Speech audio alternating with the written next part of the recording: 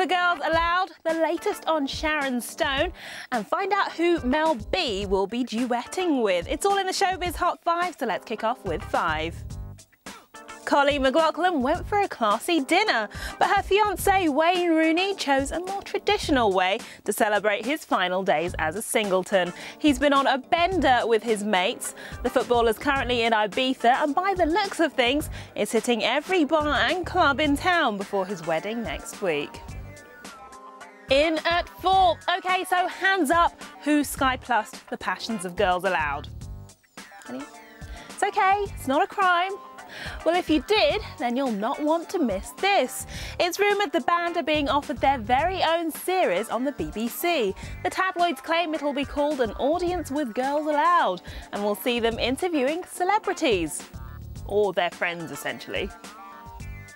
Next up at three, how do you make sure your music comeback is a success?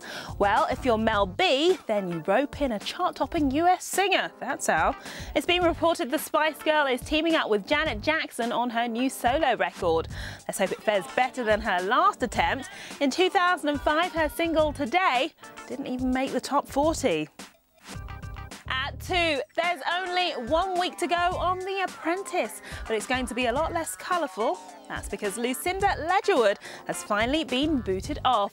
The beret lover failed to make the grade after a round of grueling interviews. But guess what the risk manager is planning to do next?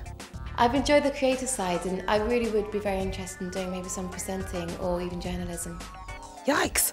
Guess I'd better watch my back then.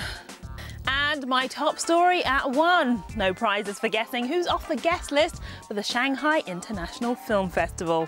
Surprise, surprise, it's Sharon Stone. It's after her comments claiming the Chinese earthquake was as a result of bad karma for the country's treatment of Tibet. While the Basic Instinct star is still in the doghouse over the saga and as a result has apologised again, saying yes, she misspoke and could not be more regretful about her mistake. Well, that's your lot for now, but don't worry, the Hot 5 crew will be back with more later.